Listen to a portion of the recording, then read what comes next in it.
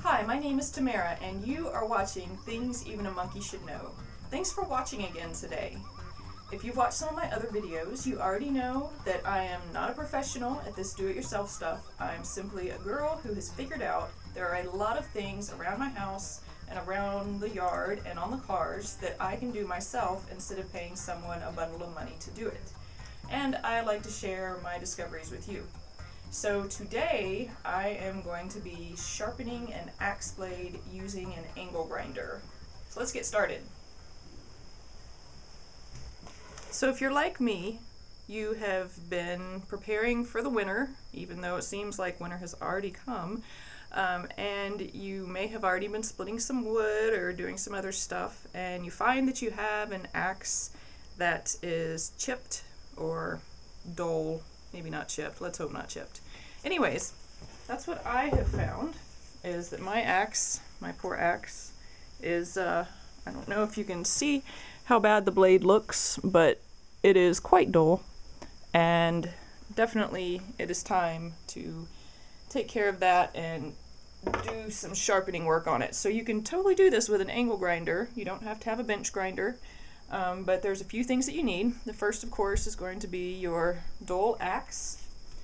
Uh, if your axe has uh, rust on it or a lot of dirt, you might want to have some WD-40 and some steel wool because you do want to clean off the rust before you start trying to sharpen your axe. You will want a large clamp of some sort. Um, if you have a vise, that would be more ideal um, because you, I will have to take an additional step in here to sharpen my axe that you will not have to if you have a vise. Um, you will want to have a bucket with some water in it. You probably can't see this. A bucket, you don't have to have a five gallon bucket, that's just all I happen to have around right now. And a sponge because in the process of grinding your axe, um, you don't want to get the blade too hot on the axe or it'll ruin the temper on it and it can cause the metal to become brittle and possibly chip or split or break the next time you use it. So you want to make sure that you have something to keep that blade cool. Um, of course, you will need your angle grinder and you will need to have a blade on it that is for grinding. They make multiple types of blades for these uh, and there's cutting blah, blah. Sometimes my tongue gets twisted. There's cutting blades and there's grinding blades and there's all kinds of stuff. Anyways, make sure that you have one that is for grinding metal. And of course, you will need the safety accoutrements, which is something to protect your ears, something to protect your eyes, and just to be on the safe side, some gloves to protect your hands. And then the last thing that you may need, depending on how precise you want to be with your axe blade, is you will need a file. Make sure that you have one. I know mine doesn't look new, it's just stained.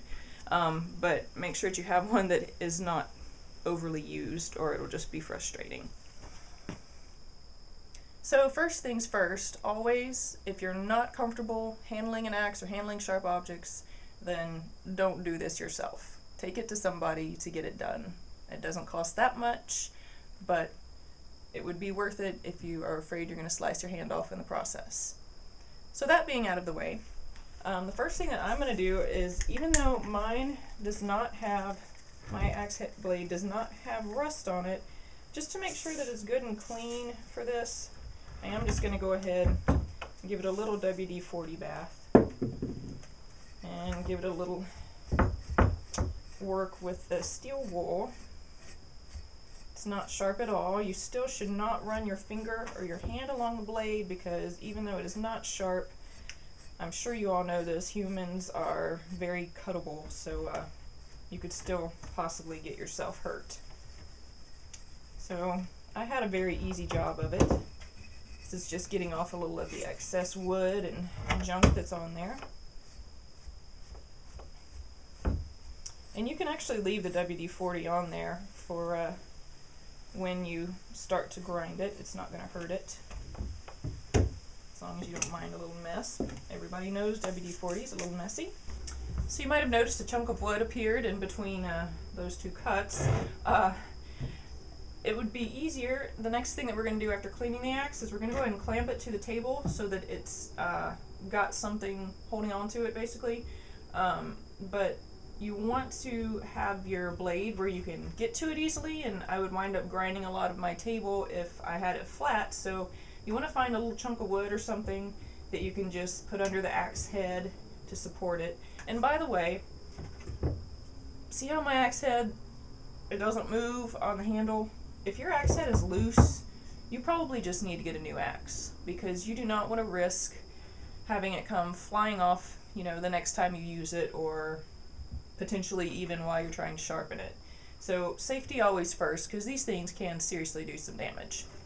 So I've got this kind of propped the way I want it to be. Now I'm going to go ahead and use my clamp, just clamp it down really hard. C-clamp is pretty good for it because it has this wobbly end so that whatever the angle is it'll still get it. So that's that's pretty good. So um, let me just move you up closer. I'm sure you've noticed, hope I don't make anyone seasick, I'm sure you've noticed that there is an angle that runs along the axe blade edge. And what you want to do whenever you're using the grinder is you want to just try to match that angle. I think it's about a 15 degree angle, but who's going to get a protractor out and measure that while they're trying to grind? So mostly just try not to change the shape of that edge and, and uh, just try to go along it. And the goal is that you want to bring this outermost edge back to a very fine point because that's what it was when you first bought it or when it was first made. Um, so the way that we'll do that is again just by running the grinder back and forth along this edge. And I'm going to work on this side for a while and then I'll flip it over and I'll work on the other side. And you may have to go back and forth several times. So one other thing to remember is that in the process of doing this, again, stop every little bit and uh, sponge off your blade to make sure that it doesn't get too hot because again if, if it gets too hot it's going to ruin the temper of the steel and your blade will become brittle and that is just what we don't want to have happen. So I am now going to put on my protective gear and then we'll start.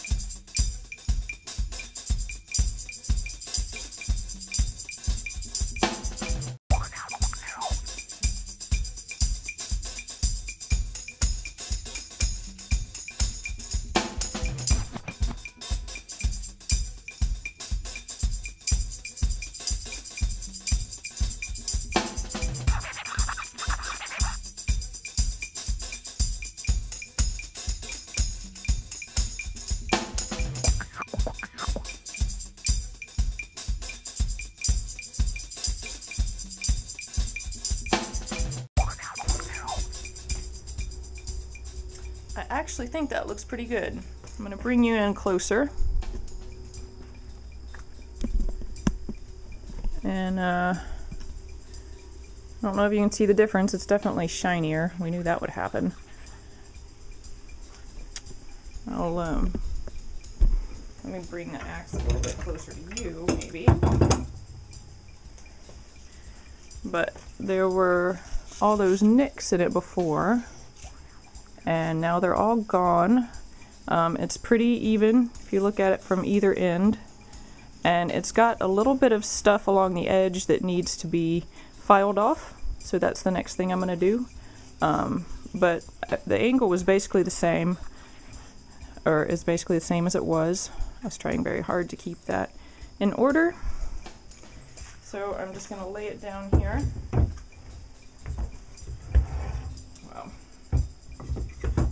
Awkward since I'm right-handed. I'm just going to give it a little file.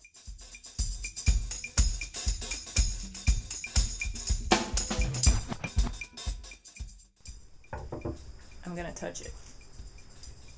That is quite sharp.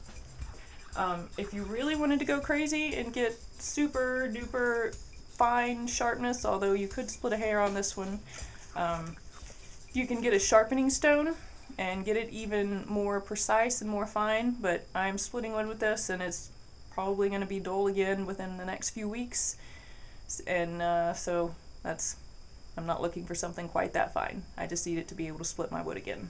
Right now it's glancing off and you don't want that to happen because that's a good way to get hurt.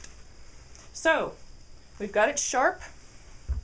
Uh, I have a little cover for mine, which is a very good thing to have. Make sure that it is dry, which mine is, before you put this on. But uh, it's a good idea to keep it covered because, you know, you don't want a kid or a pet or just a random house guest to get hold of this accidentally and cut themselves. So a few additional things that we learned today.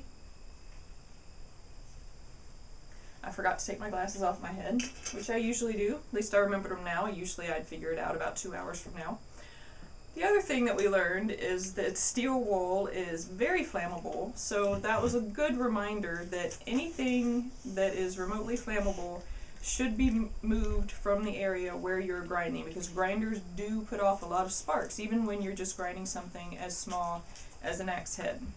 So I hope that I helped you figure out or learn how to grind your axe head and sharpen it and uh, know that it's very easy actually to do and it doesn't take that long, so don't let it be something that sneaks up on you and you keep thinking, oh, I can deal with using this dull axe, even though it's so much easier if they're sharp. And also, if you happen to have a vise instead of just using a clamp, your axe will be sitting straight up, so you'll be able to work it from both sides at the same time, so you won't have to stop and flip like I did.